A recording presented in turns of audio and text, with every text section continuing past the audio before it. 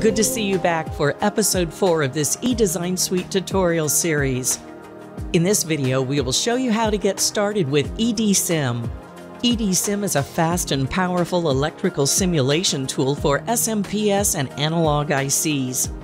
It is integrated into the eDesign Suite tool. It features enhanced accuracy and higher convergence speed for switch mode power supplies, enabling 10 to 50 times faster simulation than classic analog SPICE simulators. The tool features a specific version of the SIMPLIS SIMetrix simulator environment paired with ST component models. As demonstrated in previous episodes, let's navigate to the eDesign Suite page and select an application use case. Let's specify the required operating conditions.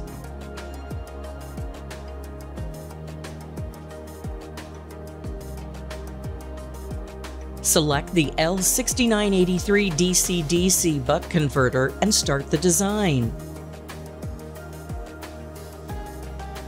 The eDesign Suite dashboard gives you a preview of the design with a fully annotated schematic and bill of materials. Here you can make changes and refine your analog design. From the dashboard, you can now verify your application's performance with eDSIM just click on Export for eDSIM in the menu bar. A pop-up window appears and will allow you to export your eDesign Suite project for eDSIM. But first, if you haven't done so yet, use the button on the right-hand side to download and run the eDSIM tool installer. You can also find the eDSIM installer at st.com/eDSIM. With eDSIM installed, name your eDesign Suite project and click Download. Unzip the exported file and double-click the edsim.bat file to load your project into eDSIM.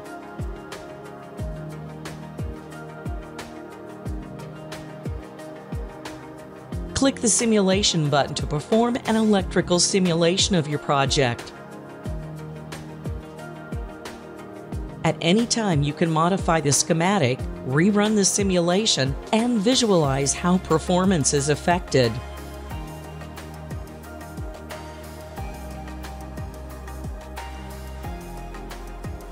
Note that you can also start a new project from scratch directly in eDSIM. Click Create New Schematic.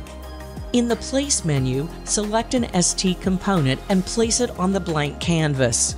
Use the different items of the toolbar to build your use case around that component. You can also browse the File Explorer panel on the left-hand side and directly select an available ST application use case. In the next episode, we'll dive deeper into eDSIM and examine different simulation scenarios based on the L6983 buck converter.